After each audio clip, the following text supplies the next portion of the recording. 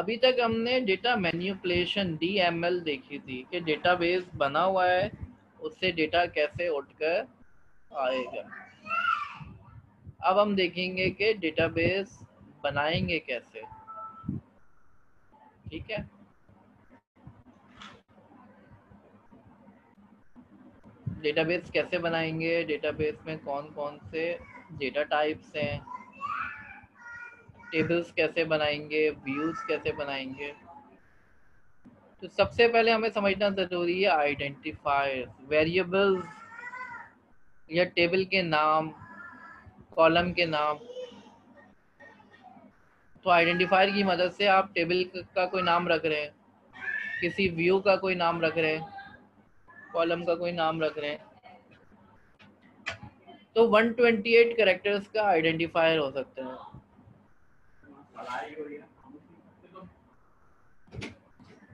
Identifier जो है, किसी लेटर से स्टार्ट होना चाहिए और आइडेंटिफायर में स्पेस नहीं आ सकता। तो टेबल के नाम में आपको स्पेस नहीं दे सकते कॉलम के नाम में कोई स्पेस नहीं दे सकते 128 कैरेक्टर्स का होना चाहिए और नंबर से स्टार्ट नहीं हो सकता या किसी स्पेशल कैरेक्टर से स्टार्ट नहीं हो सकता, हमेशा लेटर से स्टार्ट होगा ये। ठीक है? डेटा टाइप्स कौन कौन सी हैं? एसक्यूएल के अंदर बुलियन डेटा टाइप्स यानी आप किसी कोई रिकॉर्ड बना रहे हो डेटाबेस के अंदर, कोई कॉलम बना रहे हो तो उसकी डेटा टाइप आप बुलियन भी रख सकते हो। मिसाल के तौर पर पास या फेल ये स्टोर करना है आपने। तो आप क्या रखोगे? डेटा टाइप उसकी बुलियन रखोगे। ठीक है?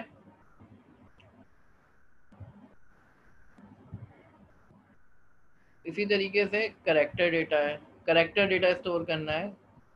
तो करेक्टर जो है वेरिंग लेंथ का हो सकता है, कोई फिक्स लेंथ का भी हो सकता है।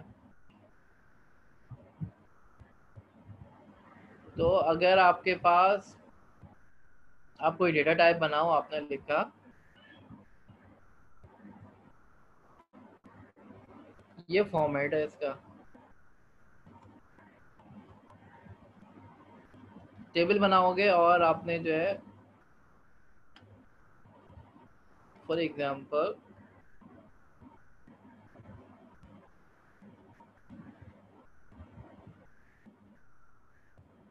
आपने लिखा नेम और नेम के साथ आपने लिख दिया इसकी डेटा टाइप जो है करेक्टर है और आपने लिख दिया ये वेरिंग है और इसकी लेंथ आपने दे दी ब्रैकेट के अंदर पचास पचास तक जा सकता है, लेकिन इसकी लेंथ जो है वेरी कर सकती है, पचास से कम हो सकती है। ठीक है? इसको मुख्तसरन लिखने का क्या तरीका है? आप लिखोगे नेम वार चार फिफ्टी ये ज़्यादा बेहतर है, ठीक है?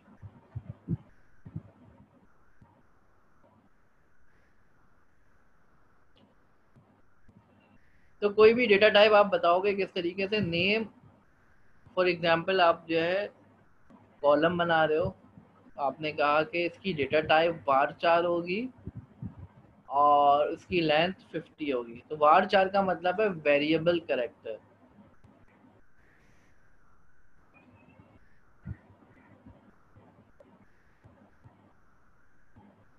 बुलियन में वन ज़ीरो की फॉर्म में स्टोर करेगा वो। आप लेकिन जो ये भी बता सकते हो पास या फेल स्टोर करो सिर्फ़। ये भी बता सकते हो आप, ठीक है? कर सकते हैं। नबील का क्वेश्चन था।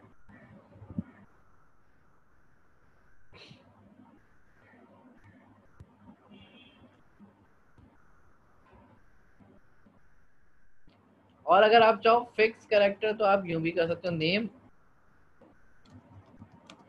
चार सिक्सटी तो इसका मतलब है कि हमेशा सिक्सटी करेक्टर्स का ही डेटा होना चाहिए इसके अंदर। अगर इससे कम का भी होगा तो डेटाबेस जो है, उसके अंदर स्पेस लगा के उसको फिल कर देगा। ठीक है? कम का नहीं हो सकता। उतने ही करेक्टर का होगा। वेरिएबल नहीं होगा। तो वार चार वेरिएबल डेटा यानी डेटा कम भी हो सकता है, ज़्यादा भी हो सकता है। ठीक है? बिट डेटा बिट डेटा में आप बता सकते हो कि कितने बिट्स में डेटा स्टोर करते हैं।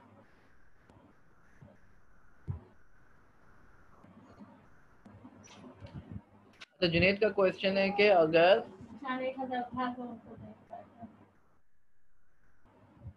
अगर जो है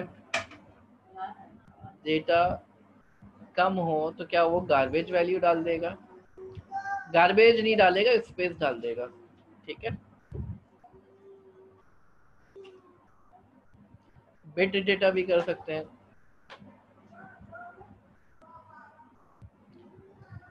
फिर न्यूमेरिक डेटा नंबर का डेटा डेसिमल डेटा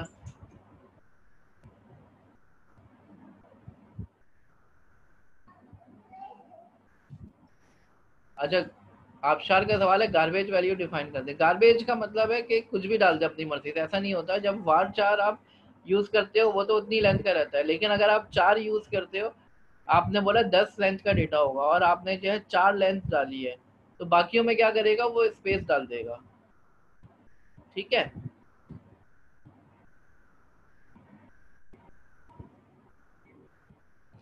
बाकी जो है, जो एक्स्ट्रा जगह होगी, उसमें स्पेस डाल देगा।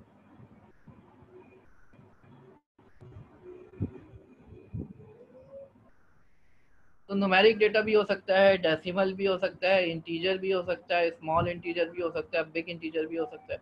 ये तमाम डेटा टाइप्स मौजूद हैं एसक्यूएल के अंदर। ठीक है?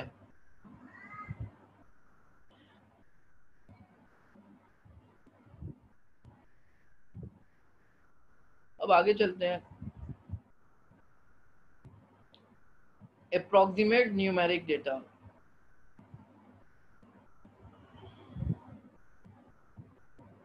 अच्छा न्यूमेरिक डेटा जो है, अभी तक जो हम देख रहे थे पीछे, ये प्रिसाइज था। ठीक है प्रिसाइज का मतलब है, कुछ डेटा अब फॉर एग्जांपल अगर आपने लिखा 1.99 तो फ्लोटिंग पॉइंट नंबर्स में अगर स्टोर करेंगे ना इसको तो कंप्यूटर कभी भी एग्जैक्टली exactly 1.99 स्टोर नहीं करता।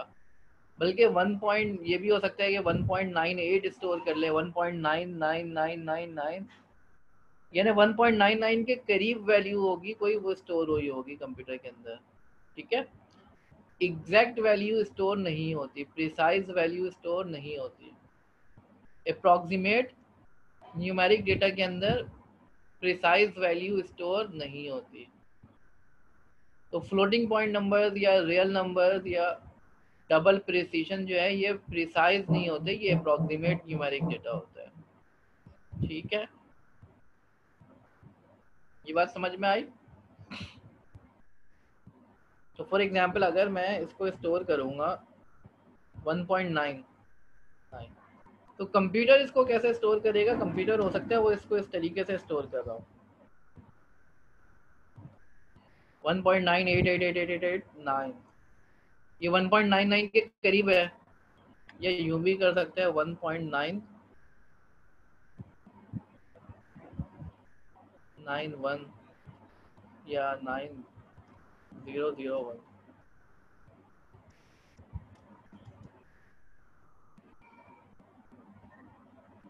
ये भी कंप्यूटर स्टोर कर सकता है, ठीक है? तो अप्रोक्सीमेट वैल्यू फ्लोटिंग पॉइंट में हमेशा ऐसी होता है कि अप्रॉक्सीमेट वैल्यू होती है, करीब तरीन वैल्यू स्टोर होती है प्रिसाइज वैल्यू कभी भी स्टोर नहीं होती। हाँ अब ये बता सकते हो कितने डिजिट्स तक प्रिसीशन मेंटेन करनी है। यानी कितने डिजिट्स तक वैल्यू जो है सेम रखनी है, उसके बाद जो है हो सकता है कि प्रिसीशन लॉस्ट हो जाए। तो प्रिसीशन कितने बिट्स तक आपने रखनी है, आप ये भी बता सकते हो। फिर टाइम की डेटा टाइप है और टाइम स्टैम्प की डेटा टाइप है, ये भी इस्तेमाल की जा सकती है डेटाबेस के अंदर। तो हमने देखा डेटाबेस के अंदर कितनी सारी डेटा टाइप्स हैं बुलियन है करेक्टर है बिट डेटा है न्यूमेरिक डेटा है डेसिमल है इंटीजर है, ये वैरायटी मौजूद है डेटा टाइप्स की। फ्लोट है रियल है डबल प्रेसिशन है। डबल प्रेसिशन में प्रेसिशन बढ़ जाएगी। डेट है टाइम है टाइम स्टैम्प है। ये तमाम जो है, इतनी सारी वैरायटी ऑफ़ डेटा टाइप्स हैं जो आप इस्तेमाल कर सकते हैं। जब एसक्यूएल में आप टेबल बनाते हैं तो कॉलम आप इनमें से कुछ भी ले सकते हैं। तो you you should have just an idea कि किस किस तरह के ऑप्शंस आपके पास अवेलेबल है और उसमें से आप किस ऑप्शन को ऑप्ट करना चाहेंगे अपनी रिक्वायरमेंट के हिसाब से। ठीक है? आपने रिक्वायरमेंट को समझना है अपनी कि मुझे जो है, ये इस तरह का डेटा स्टोर करना है तो मैं कौन सी डेटा टाइप लूँ? एसक्यूएल के अंदर ठीक है? फिर इंटरवल डेटा है लार्ज ऑब्जेक्ट है, वगैरह वगैरह, ये वैरायटी है।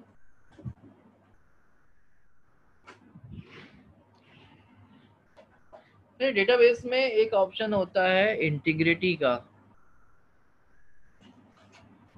इंटीग्रिटी में आपको बता चुका हूँ, कोई कंस्ट्रेंट लगाना चाह रहे हो डेटा में डेटाबेस में डेटा जैसे ही जाए तो कुछ चीज़ें चेक करी जाएँ। फॉर एग्जांपल आप ये चेक कर सकते हो कि डेटा अगर इस कॉलम पे ये लगा हुआ है कि रिक्वायर्ड है तो ये लाजमी फिल होना चाहिए, इसको खाली नहीं छोड़ सकते। अगर आप रिकॉर्ड डालोगे तो इस कॉलम को भी भरना पड़ेगा। फिर डोमेन कंस्ट्रेंट लगा सकते हो। Entity integrity referential integrity